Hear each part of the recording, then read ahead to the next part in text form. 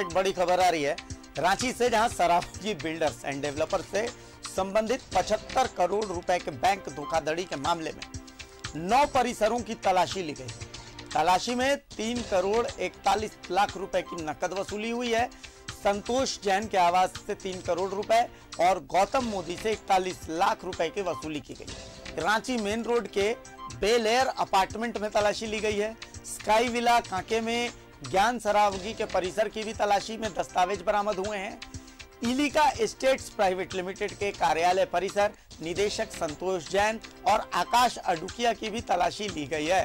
तलाशी में कई दस्तावेज़ बरामद हुए हैं। किशोरगंज चौक पर समृद्धि स्क्वायर स्थित सरावगी बिल्डर्स एंड डेवलपर्स के कार्यालय की तलाशी में भी दस्तावेज़ मिले हैं। एसजी एक्सोटिका के मालिक गौतम मोदी और सुभाष मोदी के परिसरों की भी तलाशी ली गई है।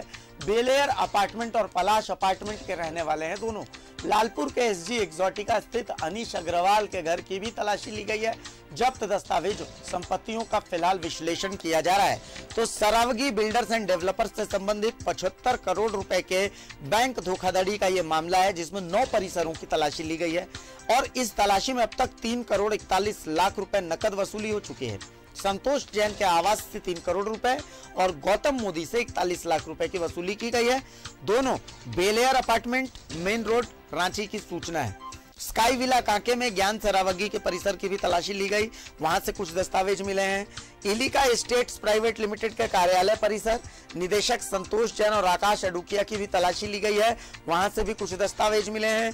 किशोरगंज चौक पर समृद्धि स्क्वायर स्थित सरावगी बिल्डर्स एंड डेवलपर्स के कार्यालय की भी तलाशी ली गई है और वहाँ से दस्तावेज़ बरामद किए गए हैं। बेलेर अपार्टमेंट और पलाश अपार्टमेंट में रहने वाले क्रमशः एसजी एक्सोटिका के मालिक गौतम मोदी और सुभाष मोदी के परिसरों की भी तलाशी ली गई है। लालपुर के एसजी एक्सोटिका स्थित अनिश अग्रवाल के घर की भी तलाशी ली गई है। अभी फ़िलहाल जब्त जो दस्तावेज़ है, उनका विश्लेषण हो रहा है, संपत्ति का विश्लेषण हो रहा है।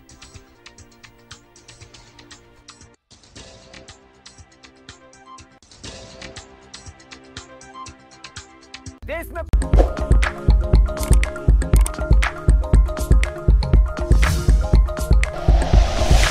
like and share videos, subscribe करें हमारा चैनल और प्रेस करें बेल आइकॉन न्यूज़ 11 भारत सच है तो दिखेगा।